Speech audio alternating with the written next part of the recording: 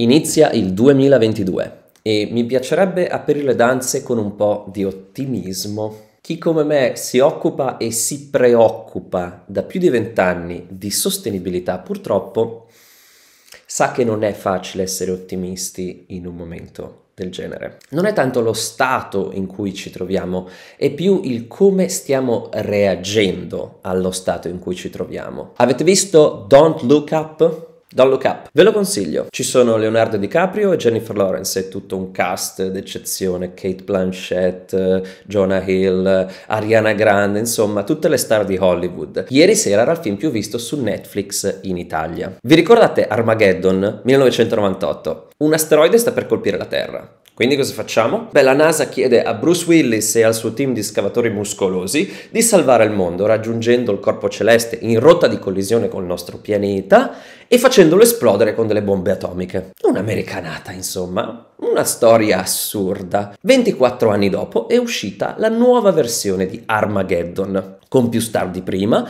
e con una storia ancora più assurda, apparentemente. Questa volta è una cometa che ci viene addosso 9 km di diametro. 9 km, 9 km è tanto. Praticamente il monte Everest che pff, ci arriva addosso dallo spazio. È grande, è grande, abbastanza grande da causare un'estinzione di massa tsunami alti chilometri, terremoti che aprono voragini mai viste prima e nubi di fuoco che si espandono alla velocità del suono in tutte le direzioni fino a avvolgere l'intero pianeta.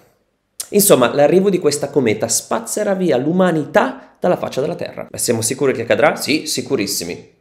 I migliori scienziati del mondo hanno fatto i calcoli e sono tutti d'accordo. È sicuro. Ok. Come reagisce il mondo? Mm. Nessuno fa nulla. Mm, cioè? In che senso nessuno fa nulla? Beh, c'è chi non ci crede, chi mette in discussione la scienza, chi attacca gli scienziati stessi, chi dà la colpa a chi ha scoperto la cometa e chi si interessa di più della vita privata di cantanti e celebrità piuttosto che della distruzione totale di tutta la vita sulla Terra. Si tratta di un film di fantascienza, ma non stiamo esagerando un po'. Questo è quello che avrei pensato se avessi visto questo film vent'anni fa. Oggi purtroppo questo film è un documentario di quello che è successo negli ultimi vent'anni su questo pianeta. La realtà purtroppo supera l'immaginazione. Il nostro asteroide si chiama crisi climatica e la reazione della gente è praticamente identica quella del film. Sappiamo che c'è, sappiamo che sconvolgerà il pianeta, sappiamo che i suoi effetti saranno abbastanza grandi per causare un'estinzione di massa. Come reagisce il mondo? Eh, nessuno fa nulla. In che senso nessuno fa nulla? Praticamente. C'è chi non ci crede, chi mette in discussione la scienza, chi attacca gli scienziati stessi e chi si interessa di più della vita privata di cantanti e celebrità. Il film doveva essere una satira, eppure è praticamente un documentario, è il film più accurato sulla terrificante non risposta della società al collasso del clima che io abbia mai visto. Sono due decenni, più di vent'anni che faccio tutto il possibile per svegliare la gente. Sono andato al COP15 di Copenaghen, ho scritto decine di articoli, ho rilasciato interviste, ho prodotto video educativi sull'argomento, mi sono confrontato con i migliori scienziati al mondo, dalla NASA a Harvard. Potete vedere i video qua se siete interessati, siete una di quelle poche persone a cui effettivamente interessa la scienza il nostro ambiente, quello che sta succedendo, qui ci sono i video. L'evidenza è schiacciante.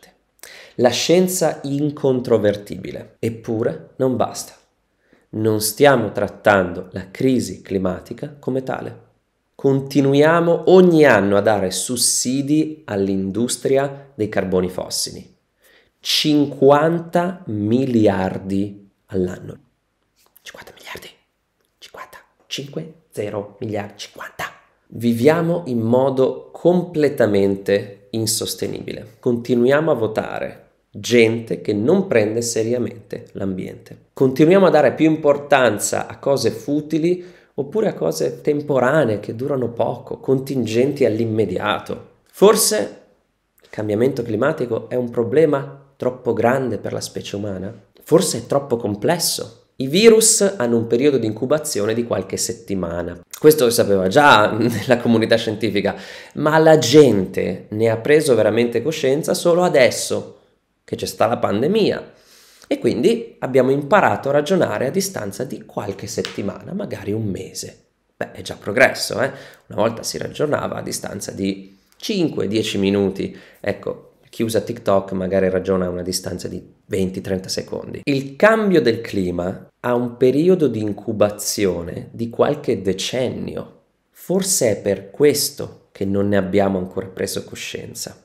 A differenza della pandemia, che sta dominando tutti i giornali, tutte le notizie, tutte le televisioni e tutte le nostre attività, da due anni la crisi climatica non migliorerà con il tempo e non ci sarà una cura che la risolve miracolosamente. Finché non la trattiamo come una vera crisi, sarà sempre peggio. Ma voglio finire con una nota positiva. Positiva, perché la speranza è l'ultima a morire. Forse questo 2022 sarà diverso. Forse questo film, questo video, quest'anno così difficile che abbiamo passato risveglieranno in te e in ognuno di noi qualche cosa e inizieremo finalmente a dare importanza a ciò che importa di più. Lo voglio almeno sperare.